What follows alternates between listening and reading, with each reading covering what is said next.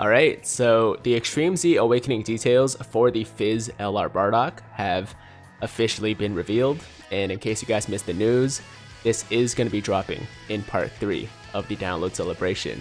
Now, as always, we're going to quickly start with his pre-EZA details first, and then jump over to the Extreme Z Awakening details for comparison purposes.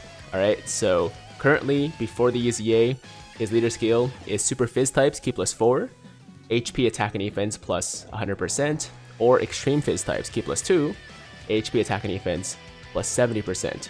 His 12 Ki super attack greatly raises attack for one turn and causes colossal damage, and his 18 Ki super causes mega colossal damage and seals super attack. Passive, attack and defense plus 70%, plus an additional attack plus 30% when performing an ultra super attack and then Ki plus 4 when facing only one enemy, and defense plus 60% when facing two or more enemies. So this is Bardock without the EZA, and honestly, he wasn't that bad, you know, like he didn't really stand out in any any way, but he was definitely usable. Now, with the Extreme Z Awakening, his leader skill becomes Super PHY typed, Ki plus 4, HP attack and defense plus 120%, or Extreme PHY types, Ki plus 3, HP attack and defense plus 90%. His 12 Ki super is greatly raises attack and defense for one turn instead of just the attack, and then causes colossal damage and greatly lowers defense. And then the 18 Ki super raises defense for one turn, causes mega colossal damage, and seals super attack.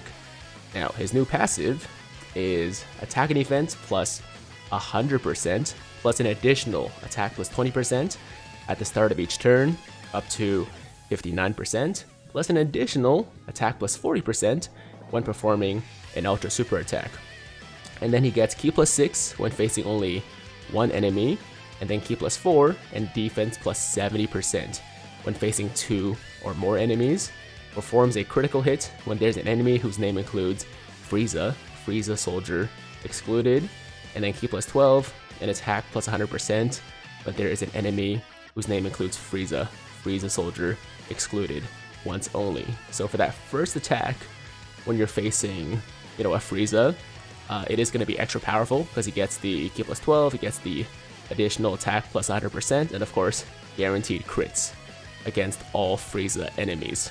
Now, of course, everything else does stay the same, same links, same categories, but we have some calculations here. So uh, his additional attack plus 40% is calculated separately for a maximum possible boost of attack plus 262.6% when all conditions are met, and then attack plus 402.6% when there's an enemy whose name includes Frieza once only. So that's going to be the boost for that first attack.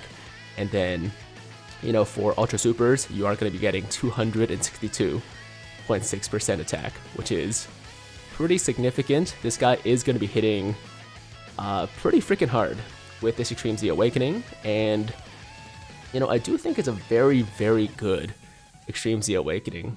Uh, I think most people are pretty happy with it. I have seen some people say maybe they were expecting a little bit more, but I kind of feel like this is the perfect LR Extreme Z Awakening. You know, like not too busted, but very, very good.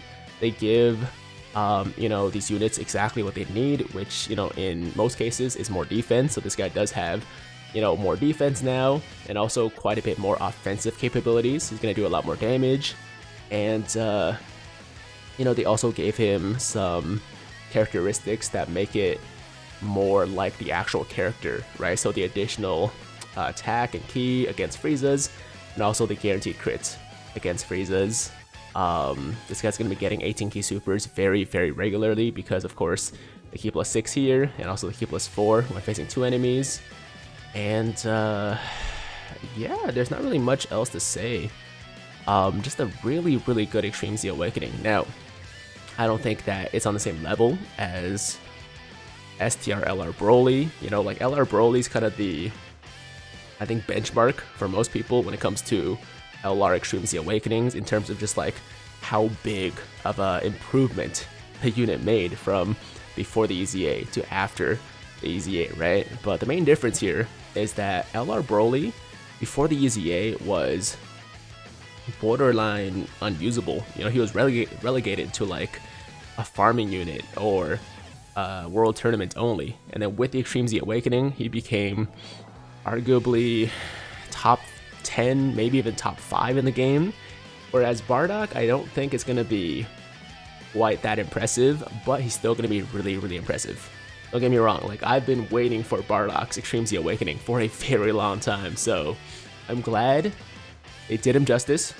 I'm glad the EZA is really good, and uh, I can't wait for it to drop in two days, apparently, according to the wiki here, right? September 23rd, 2021. So I guess that's when part three starts? Maybe? That would make sense, right? So yeah, according to yeah the Dokkan Wiki, September 23rd, 2021. Uh, it's the 21st right now, so in two days, the Bardock EZA will become available. That's most likely when Part 3 also starts. And um, yeah, there you go, guys. Is LR Bardock Extreme Z Awakening coming very soon. Um, let me just make sure there's nothing I missed about this EZA. I mean, of course, he does get a 5 increase or 5 level increase to his super attack, so that's also going to help with the uh, damage output. And stats, of course, stay the same because LRs don't get additional stats with Extreme Z Awakenings. Um, yeah, that's it, guys. Yo, let me know in the comments what you guys think about this EZA. Are you satisfied with it? Are you impressed? Or are you maybe a little bit disappointed if you were expecting something more? But like I said, man, I think they did a really good job.